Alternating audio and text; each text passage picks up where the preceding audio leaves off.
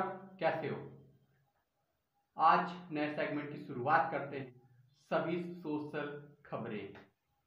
इस पूरे वर्ल्ड में जितनी भी सोशल खबरें होंगी, वो मिलेंगी आपको हर सुबह यारो। लेकिन आज की सारी खबरें जानने से पहले हमें ये पता होना चाहिए कि हमें ये खबरें जाननी ही क्यों हैं। आप ये वीडियो देख क्यों रहे हैं? आप अपना कीमती टाइम इसे दे रहे हैं? आपको इस वीडियो से क्या वैल्यू मिलेगी, ये आपको पता होना चाहिए। तो यार, कई बार होता है कि बहुत सारी दुनिया में खबरें चल रही खबरें चल रही होती हैं, लोगों के साथ कुछ बुरा हो रहा होता है, लोगों के साथ कुछ अच्छा हो रहा होता है, कहीं दुर्घटना हो रही होती है, और ऐसे ना जाने कितने सारी सोशल चीज़ हो रही होती हैं। इसीलिए मैं भी से एक आज से शुरुआत करता हूँ। सोशल एपिसोड्स की, और हर रोज़ सुबह आपको 10 बजे ये सोशल एपिसोड मिलने वाला है और आप इसे इंजॉय कर पाएँगे। और एज अ ह्यूमन बीइंग हमें पता होना चाहिए कि दुनिया में चल क्या रहा है। तभी एक्चुअल में पता क्या होता है? हमें ये पता नहीं होता कि दुनिया में क्या चल रहा है। तो कुछ चीज़ें हम मिस कर देते हैं। और फिर आखिरी में पता चलता है, ये चीज़ मैं कर सकता था, इसमें मेरा फ़ायदा हो सकता था या फिर ये जानना मेरे लिए बहुत ज़रूरी था, पर मैं जान नहीं पाया। इन सभी समस्याओं को दूर करने के लिए मैं आ चुका हूँ। और स्टार्ट करते हैं अपना पहला सोशल का एपिसोड और बात करेंगे लास्ट 24 घंटे की सारी सोशल खबरों की ईरान और यूएसए की न्यूक्लियर डील वापस से स्टार्ट हो चुकी है। बाइडेन ने इसे रिवाइव किया है, जो कि 2015 में स्टार्ट हुई थी और 16 मंथ से लेटेस्ट बातें इसकी चल रही हैं। कि ईरान को न्यूक्लियर पावर दे दिया जाए। देखते हैं, ईरान को न्यूक्लियर पावर मिलती है कि नहीं। यारो if we talk about our next news Elon Musk lawyers are complain in court against whistleblower for revealing the data of Twitter Elon Musk के वकील ये भी चाहते हैं जितने भी फेक अकाउंट ट्विटर पे बने हुए हैं, उनको हटाया जाए।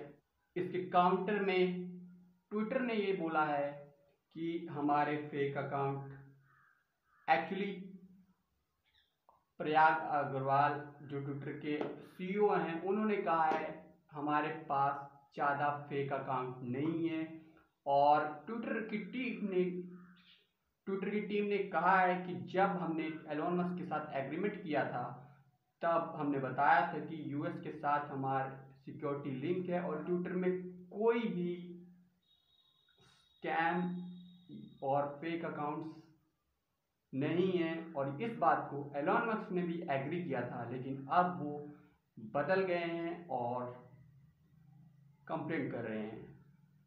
एक्चुअली में क्या सीन पूरा चल रहा है ना?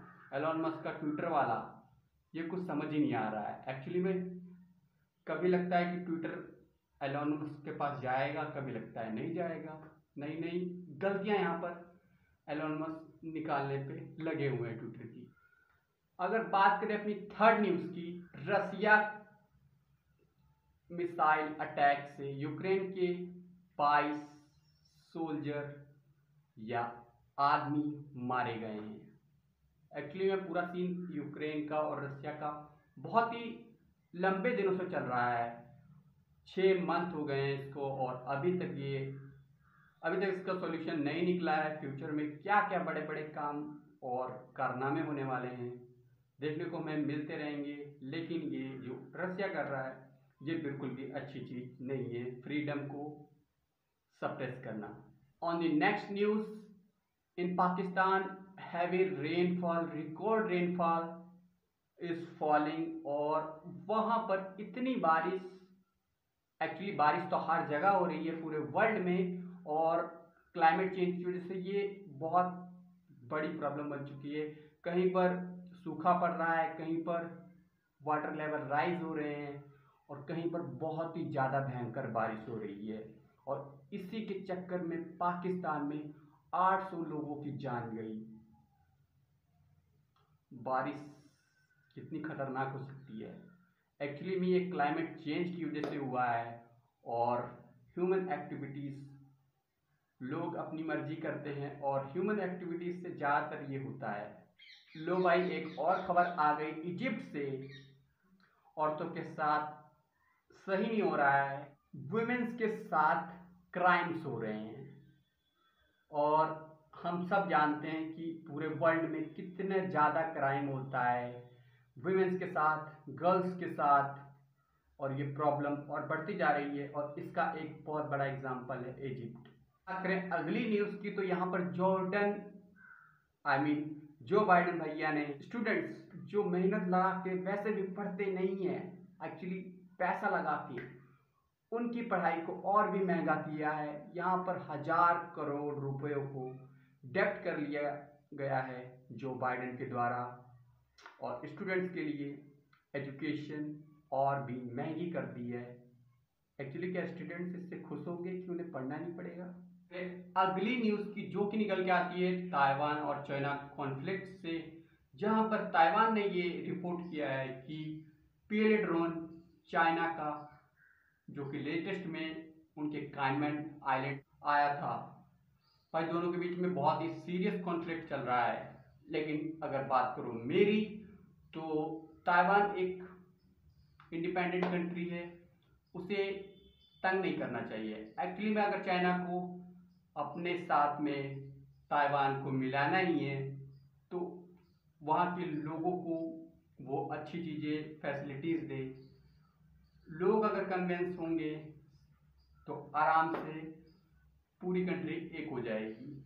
तो बात करेंगे पोलैंड में जितने भी यूक्रेनियन रह रहे हैं, उनको दोबारा यूक्रेन में जाने से डर लग रहा है।